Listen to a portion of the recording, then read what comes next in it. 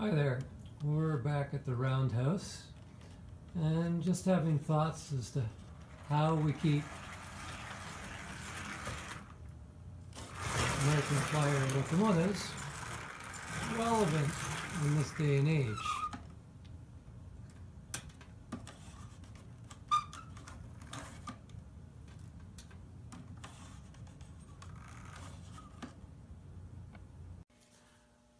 I say relevant because A.C. Gilbert, back some 60 years ago, made these locomotives with a headlight, a choo-choo sound, and they smoked, which was pretty good at the time, and you could could make them go forward and backwards, albeit uh, a little awkward at times.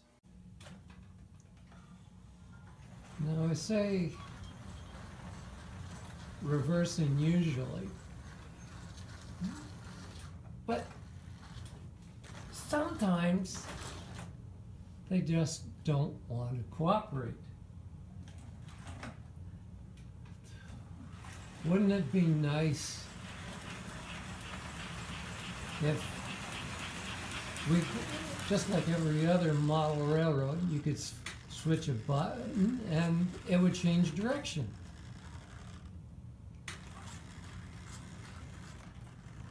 Seems like a dream to a lot of American Flyer runners.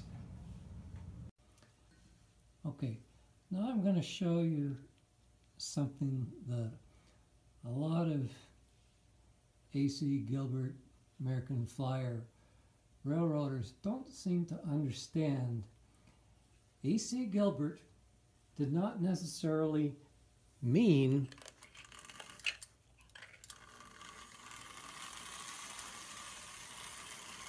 that AC stood for alternating current. And it doesn't take much to run those slash AC locomotives and DC. Now this is not going to be a cut and splice. I'm just going to show you what I'm talking about.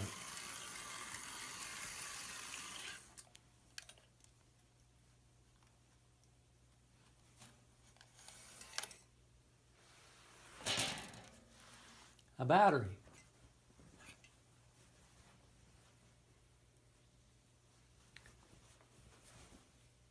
Wires.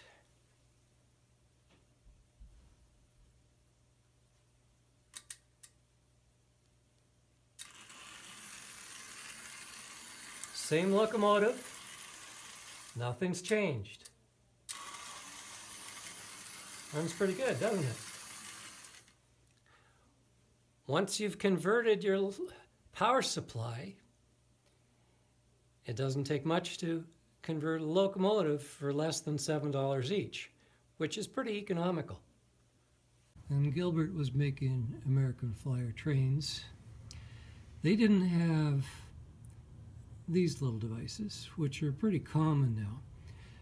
It's just a diode, but it's like a stop sign for electricity. Basically, you want to stop the flow in one direction, you st stick one of these in, and it, AC becomes DC in only one direction.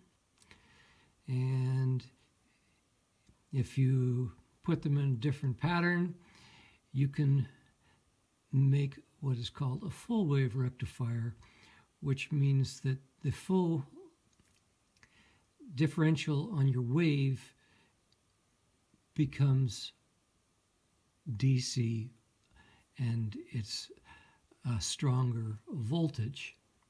Now, when you nowadays, yeah, you can buy them like this, or you can buy them in what is called a bridge, where it's essentially four of these stuck together. Now, if you take your transformer, you put your bridge, it's, it's got two alternating symbols on it. You take your variable voltage to one side of the AC and you take your base to the other side, and bingo, the bridge is marked positive and negative, and it puts out DC current. If you go to a simple double pole switch like this and put a jumper all the way like this and one over to the other side, if you take the center out, it will now be a reversing polarity for your tracks. And if you want to make increase the strength of your transformer, you put in a capacitor. Now, capacitors actually hold on to voltage before they let it go, so it kind of becomes like a shock absorber for electricity. now, they'll have a long length lead coming off and a short length lead. Connect the short length to the negative side and the positive, the long lead to the positive side, and you're good to go. Um, you can get away with, say, uh, something with 2200 microfarads and get it with a voltage of, say, 24 to 35 volts, and that's all it takes. And so now, this is what it looks like. I've just used 2200 microfarads on this small transformer, but it'd give a better smoothing of the wave if you used four of them in parallel for that same connection. Now, there's one more part to this conversion, and that is for each of the locomotives, you're going to require still another bridge.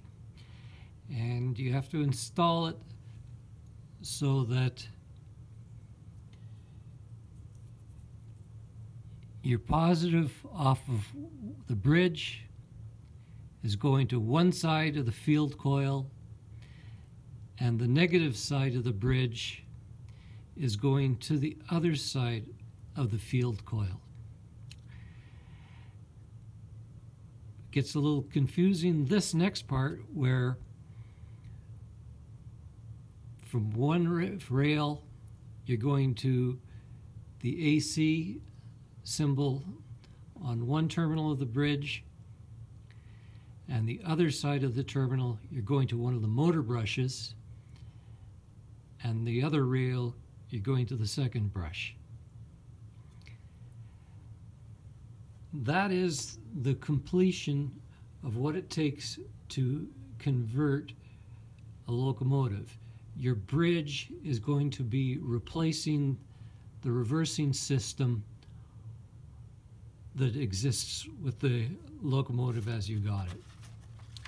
Um, one thing I should make mention of is that when you place the bridge on the locomotive, you should epoxy it to say the body frame of the locomotive to increase its heat dissipation so that it doesn't just sit there and bake.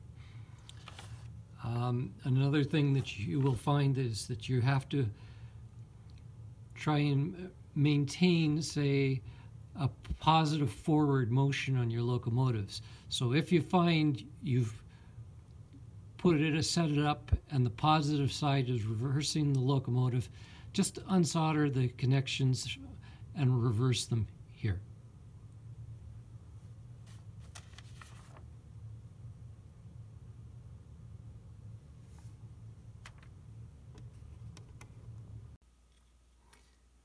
Okay, now this is what the various installations on the locomotives will end up looking like.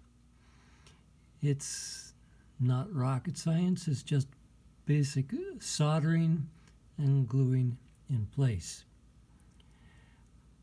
Alternatively, you could skip the rectifiers and go directly to the newer CAN motors to get better performance as in DC can motors.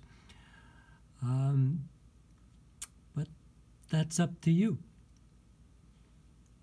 I think the repairing the brushes on these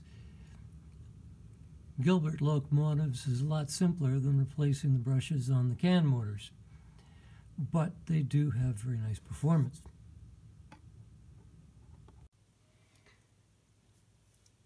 Now, as you can see, I use a variety of different bridges. And when you're at this stage, you might be tempted to remove the tender weight to increase perhaps the pulling power of your locomotive. Don't do it. It keeps the tender on the tracks when you're going around those curves with the longer trains. Okay, now this is an example of a Gilbert train where we've replaced the AC Gilbert motor with the DC can motor. Um, gives great low end, low voltage performance. It's smooth. Um, but those motors give off a fair bit of heat even compared to the AC Gilbert motors. So you need to put some foil inside plastic shell locomotives to protect them. Um, I don't recommend choosing one with the flywheel. It just doesn't seem to be necessary to get you any more greater realism than you're getting. And when it comes to voltage, once again, because these units draw such low voltage, invariably the smoke units don't get the voltage to heat up as well. So, all in all, it's an improvement, but there's some drawbacks there too. Now, the purist might not like these changes but they are all totally reversible. And if you are considering going to the modern controllers where you can turn lights on and off independently and separate horns and such like that, you're going to have to convert the locomotives to DC anyways. So you can either go with these rectifiers, DC motors, get new controllers or buy new locomotives completely. It's all up to you. Just enjoy your railway. Thank you for watching. And if you like what you've seen, please hit that subscribe button.